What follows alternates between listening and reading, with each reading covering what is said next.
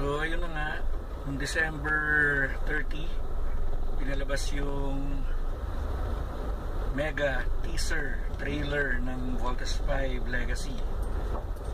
So, anong reaction ko doon?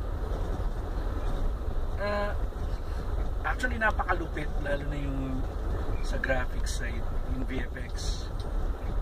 So, sana lang, ano, uh, pagdating sa sa storyline, alam ko may mga in-inject silang ano eh, mga syempre mga original na na storyline dun sa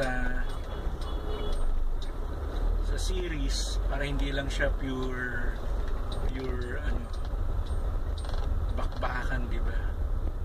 So okay lang naman sa akin yun. Pati yung mga sinasabi nilang love triangle or whatsoever as long as mag-work big fan naman ako ng Voltes 5 so yun lang. Maganda siya actually. So super. Parang parang gusto mong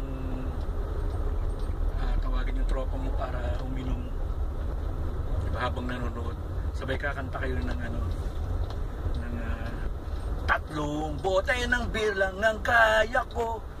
Tatlong case ng gin ang inorder mo. Kundi ka lang isang malupit na tropa Sinipa ko na ang tumbong mo sa bose Kanina pa ako batong bato dito.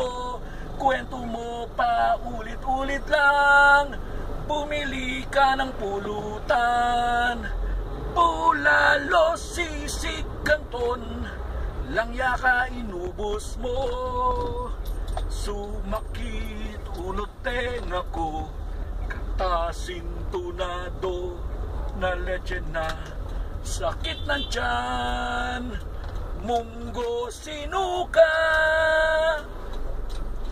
So, ayun lang. Ah... sana kayo rin na-enjoy nyo yung Voltes 5 na teaser, mega teaser trailer. At uh, sabay-sabay natin na uh, abangan yung TV series. Mukhang napakalupit nun at uh, tangkiligin natin. Ang sariling atin actually hindi naman sariling atin yun pero ang lupit ng pagkagawa ng mga Pinoy doon so yun. Pag nakita nyo yung mga reaction videos ng mga taga-ibang bansa lalo na yung mga Japanese so sobrang na-appreciate nila. So tayo bakit hindi di ma-appreciate din natin. Tayo gumawa nun.